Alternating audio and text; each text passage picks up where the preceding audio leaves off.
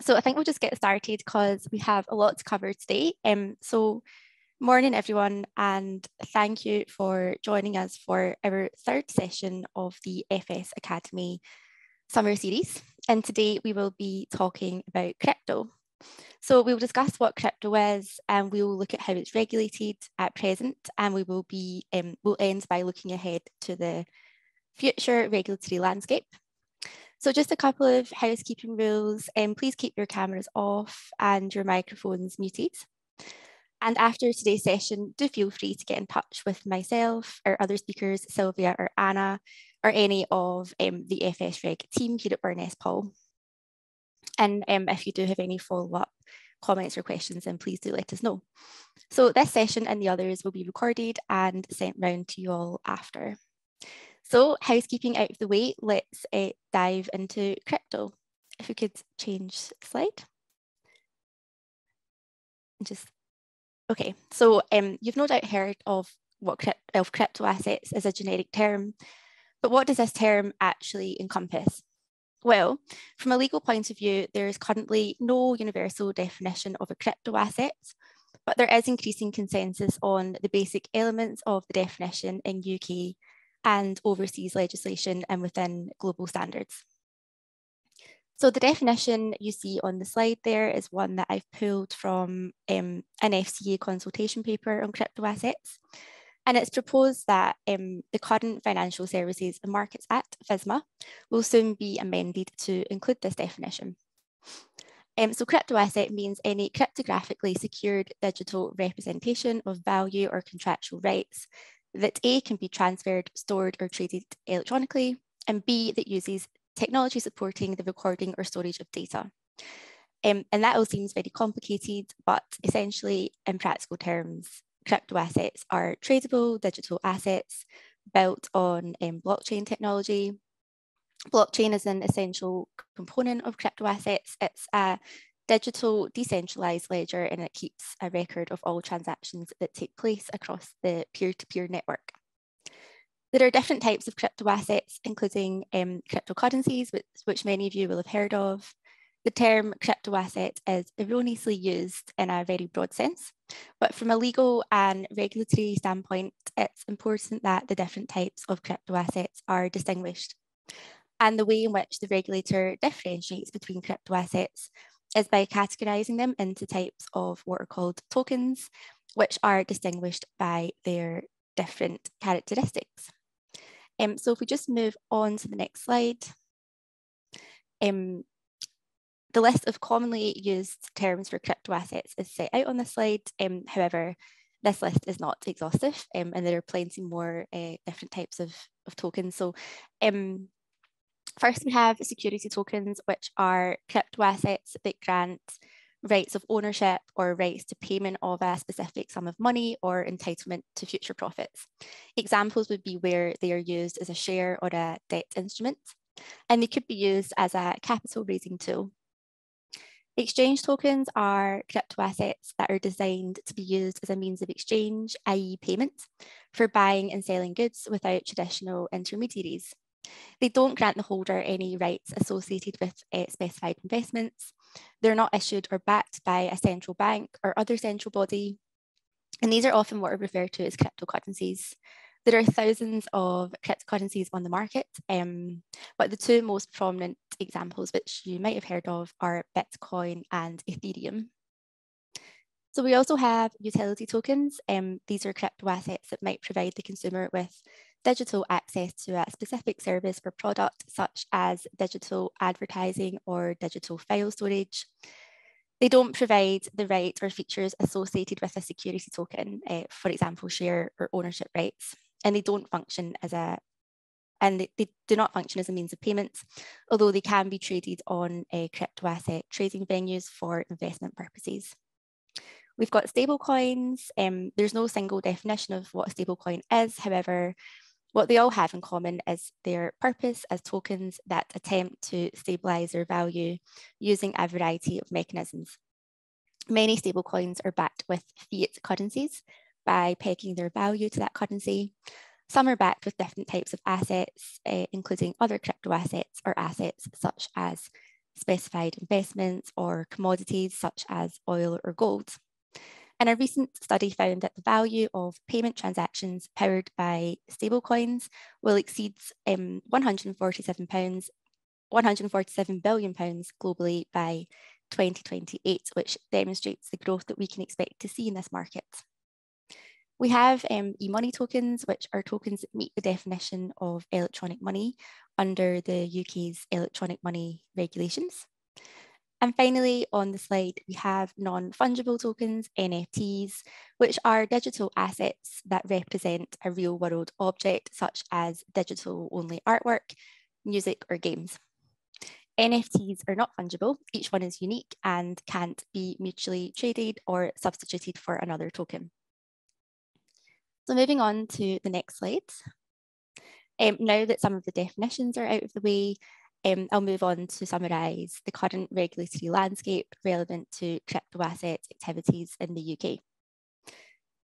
So the position at the moment is that the UK doesn't currently have a bespoke regime for crypto assets. Um, however, some types of crypto assets do have characteristics that bring them within the UK's existing regulatory regime, either under the Financial Services and Markets Act, FSMA, the Payment Services Regulations, or the Electronic Money Regulations. And the tokens which currently fall within the regulatory perimeter are security tokens and e-money tokens. So security tokens uh, fall within the existing FSMA regulatory, regulatory parameter set out by the RAO, the Regulated Activities Order, as they meet the definition of a specified investment under legislation. This is because these tokens provide rights and obligations similar to specified investments, including those that are financial instruments under MIFID. And firms that carry on specified investments involving security tokens, such as, for example, arranging for investments in security tokens would need to ensure that they are appropriately authorised under FSMA and are adhering to the FCA's rules in relation to their activities. Tokens having characteristics like a share in a company, a debt security, or a unit in a collective investment scheme will be regulated under the FSMA regime. So we have e-money tokens as well, um, which are tokens that meet the definition of electronic money under the EMRs, the e-money regulations, and um, don't benefit from one of the exclusions under the regs. This would include, for example, fiat balances and various types of online wallet or prepaid cards. And again, firms providing e-money tokens would need to ensure that they are appropriately authorised.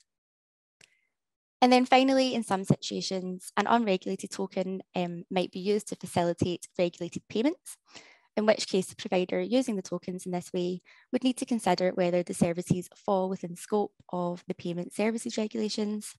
However, this wouldn't bring the token itself within uh, the regulatory perimeter. So at present, any token that isn't a security token or an e-money token is an unregulated token.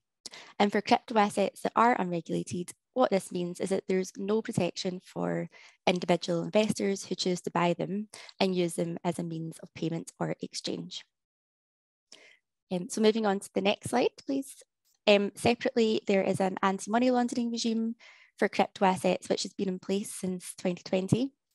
Under the money laundering regulations, the MLRs, crypto asset exchange providers and custodian wallet providers in the UK need to be registered. So essentially firms that provide exchange services for crypto and intermediaries that act as agent for customers and custodians need to register with the FCA. And registered firms must comply with the various AML and counter-terrorist financing obligations contained in the MLRs. This would include, for example, requi requiring these firms to demonstrate that their controls, policies and procedures are adequate to deal with the money laundering and terrorist financing risks of the crypto asset market, and requiring any officers, managers, and beneficial owners of the business to be fit and proper. And at the moment, there are only around 40 or so firms uh, registered with the FCA as registered crypto asset firms. Um, I believe it's quite a lengthy process to become registered and there's a high fail rate for applications. So hopefully that sets the scene with regards to types of crypto asset and the current regulation. I'll now pass you over to Sylvia, who will give us some insight as to why there is perhaps a need for greater regulation in the crypto space. Thanks, Marianne. Um, if we could just go on to the next slide, thank you.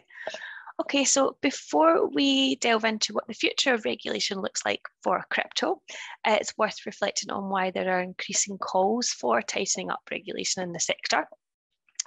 Lack of regulation to date has encouraged innovation and the development of new ways of exchanging money and doing business. Um, we've heard from Marianne about the different types of crypto assets, which are well beyond just cryptocurrency. And the crypto sector has grown and developed at speed, and regulators, as can often be the way with new technology, have struggled to keep pace with developments. So, what's driving the call for increased regulation? Firstly, there's the increased use of crypto assets, which may have started out as only being used by the more technologically literate. However, their use has since become more mainstream. There are there are a range of different valuations of the global crypto asset market, but different sources have estimated it at over $1 trillion. So quite a large amount, um, and we certainly know it as a growing sector. And the lack of regulation has led to the crypto sector often being seen as the wild west of digital finance. So not the best, um, not the best reputation. Um, indeed, it does have a rather tarnished reputation due to how crypto assets have been used in the past. Um, the crypto sector has had too many unfortunate associations with money laundering, cybercrime, and organised crime, um, despite that it does, it does have many legitimate users. So one example of this is ransomware attacks, commonly using crypto assets as their ransom payment. Many of these ransomware attacks have also been linked to Russia, and Russia has also been accused of involvement in cyber attacks against the US, such as the large scale attack on major software company SolarWinds, which attack gave hack hackers access to organizations around the world, including the US government. And in addition, the US, in, in addition, Russia is believed to have carried out major cyber attacks against Ukraine in 2017. Cryptocurrencies have also been implicated in money laundering and fraud, such as the Plus token Ponzi scheme, which caused investor losses of up to $2.9 billion between 2018 and 2020. There was also the well publicised collapse of FTX Trading Limited, which at the time of its collapse, it was one of the largest digital currency exchange platforms for buying and selling cryptocurrencies. And FTX collapsed in just last year in December 22 and led to the CEO being arrested and facing, now facing criminal charges, including wire fraud, money laundering, and conspiracy to commit fraud.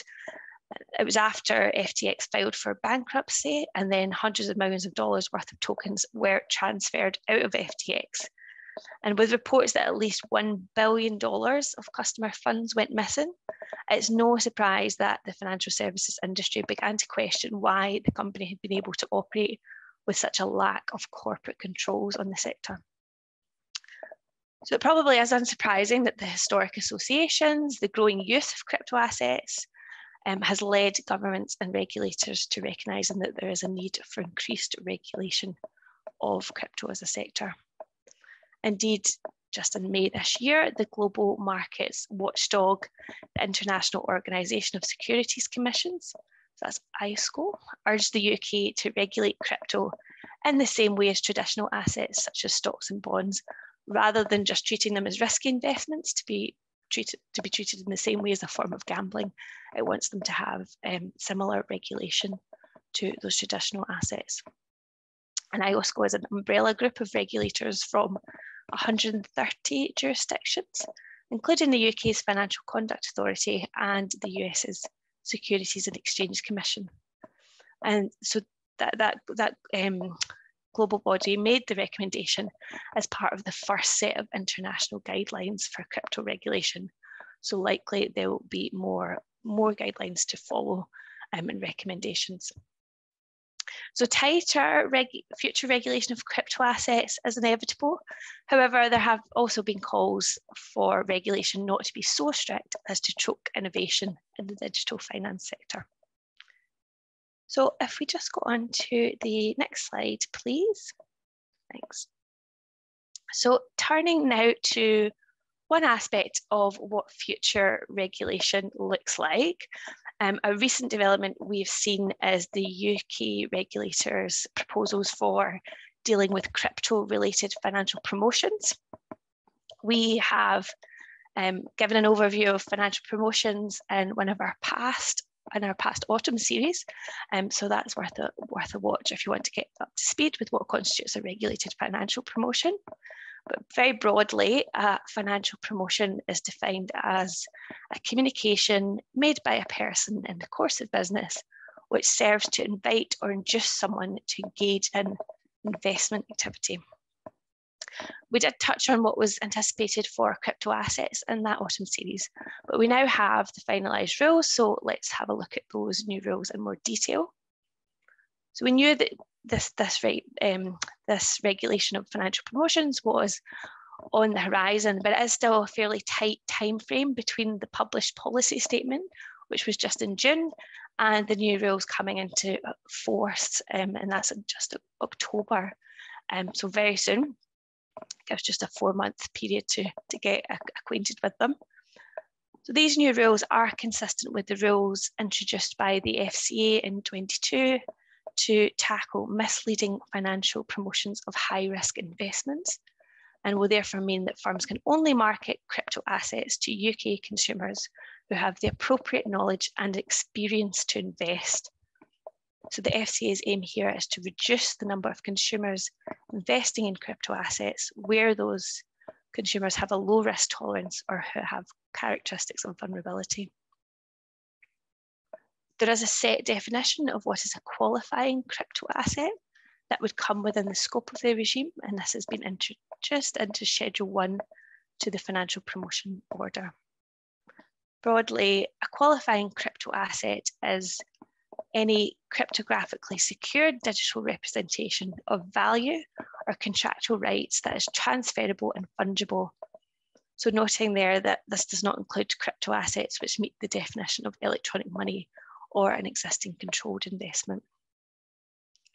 And these qualifying crypto assets will be categorized as restricted mass market investments. So this puts them in the same category as shares in private companies or bonds issued by private limited companies. So uh, as an RMMI, certain restrictions will apply on how crypto assets can be marketed to UK consumers, in addition to the overarching requirement that financial promotions must be fair, clear and not misleading um, so that's the, the, the usual terminology we, we see with financial promotions. So what are the restrictions when promoting crypto assets? So clear risk warnings must be included with specific wording to the effect that these types of investments are high risk investments. There must also be a cooling off period. So this will be a minimum 24 hour cooling off period for first time investors with a firm. This will mean that a consumer cannot receive a direct offer of financial promotion unless they've reconfirmed their request to proceed after waiting at least 24 hours. There will be a personalised risk warning pop-up for first-time investors. There'll also be a client categorisation requirement. So meaning that before a direct offer FinProm can be made, the consumer must be categorised as a restricted, high net worth or certified sophisticated investor. So this is in line with existing client categorisations, but not all the categories available to RMMIs will be available to crypto asset promotions.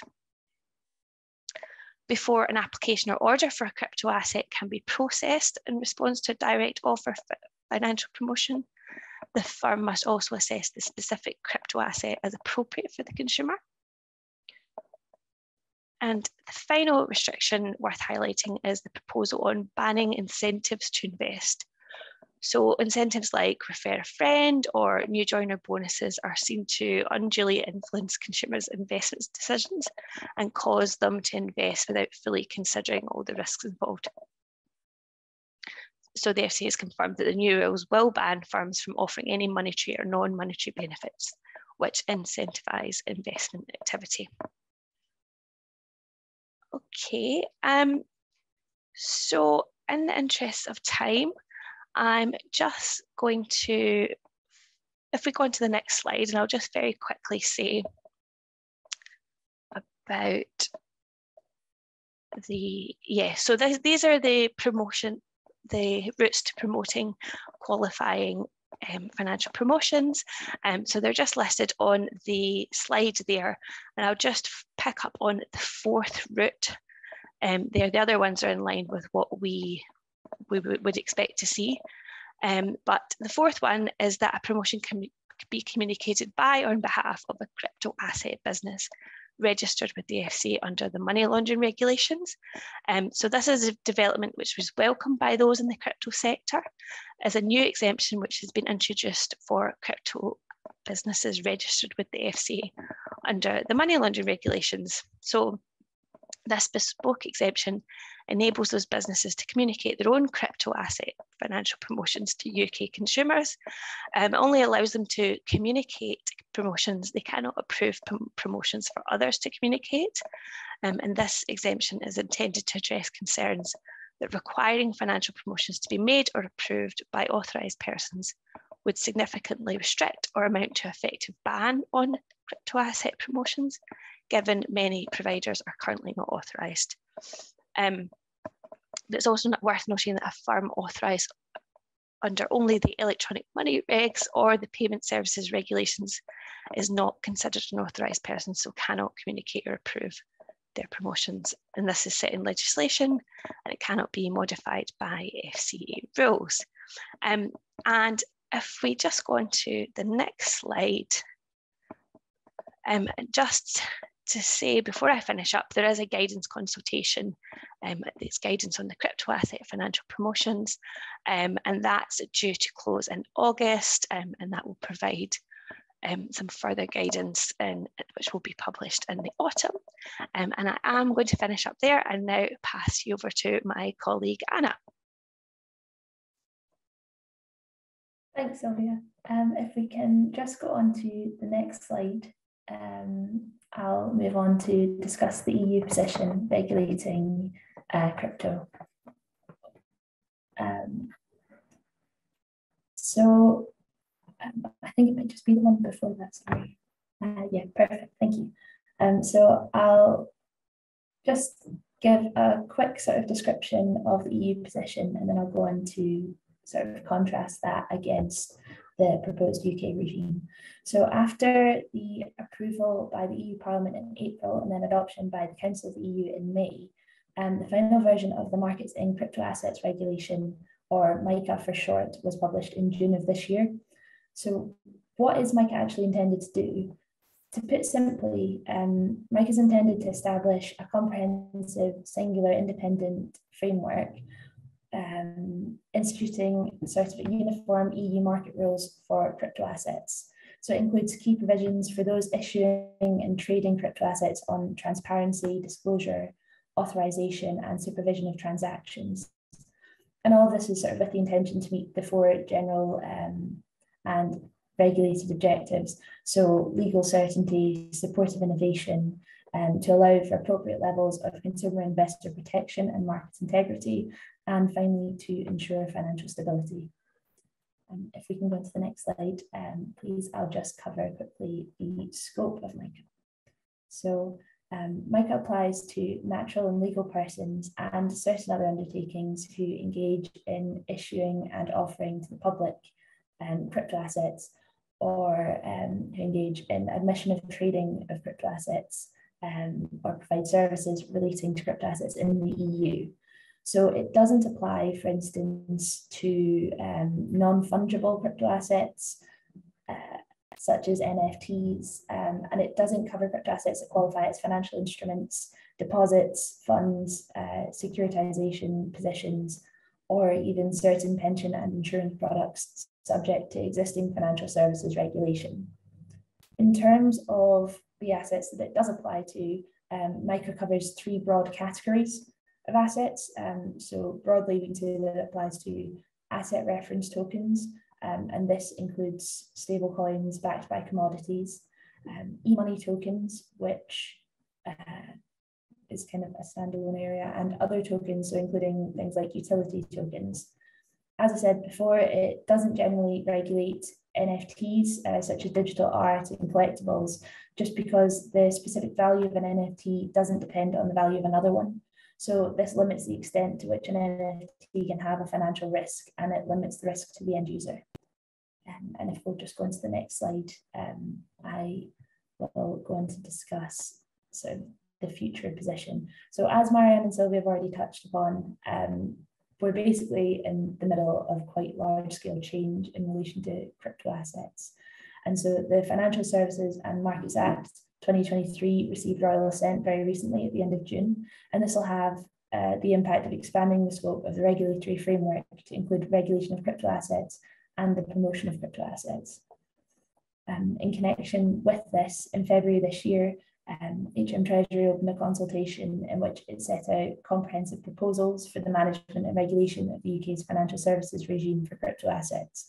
And this marked um, quite a major stage in the phased approach that is being undertaken in the UK. So while previously proposals had sort of focused on stable coins and financial promotions, um, this recent consultation is intended to bring crypto assets even more so into the forefront of the UK financial sector. Um, and just briefly, as um, aware Sylvia has touched on this already, um, on the 8th of June, the UK's Financial Conduct Authority published a policy statement um, setting out the intention to introduce tough new rules for marketing crypto assets in the UK, um, which results in potential criminal liability. So I think from this we can take the view that it's very much the intention to establish a robust, comprehensive approach to crypto in the UK. And finally, if we move on to the next slide, I'll touch upon a few points um, that uh, we can sort of contrast and see similarities and differences between the EU and UK regimes. So although we don't have the final version of the 2023 Act yet, um, we can anticipate that it will be wide ranging, wide ranging, and sort of in conjunction with our understanding of the approach intended by the relevant regulators, we can draw some pretty helpful illustrative comparisons with MICA.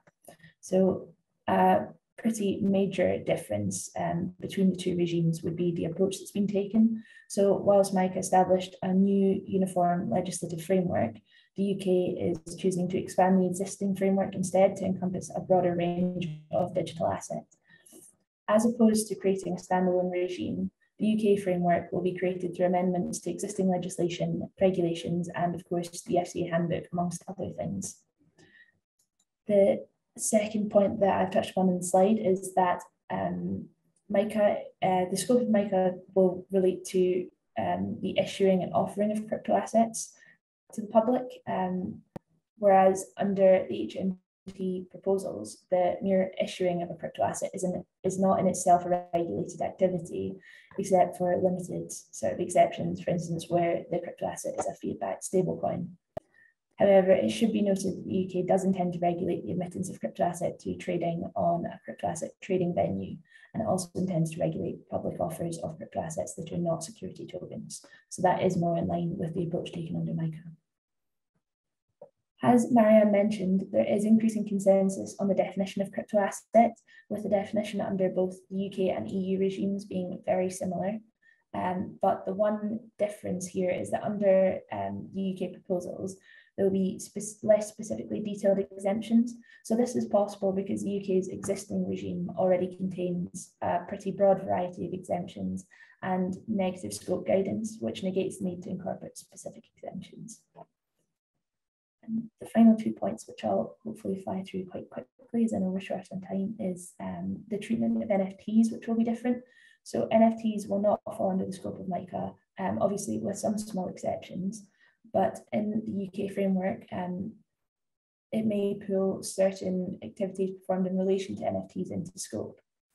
It's probably pretty important to note on that, though, that NFTs are not going to be brought into the scope of the extension of financial promotions regime.